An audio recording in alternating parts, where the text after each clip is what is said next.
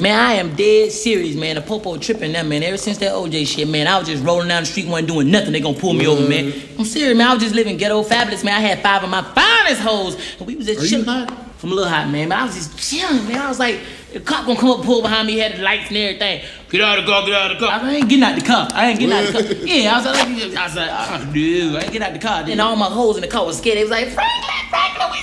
They be saying Somebody stuff gonna pull like up on the that. side on me. I was like, oh no, no, I ain't stopping because I ain't do nothing. And he came up to the car, right? He said, get out of the car, I got out of the car. I said, what you calling back up for, man? Everybody around here for this between me and you, I ain't even do nothing. They got my license, my registration, everything. What's up now? What's up now? That's so then he was like, talk- he was trying gotta talk to him Then he like started, stop playing, man. Then he started tripping. That's when I slapped him right. I was like, mm! and I took his handcuffs right off of him. I put his handcuffs on him, put him in the back seat of my car. Said, I'm gonna take your ass to jail because you the one tripping around here. You understand?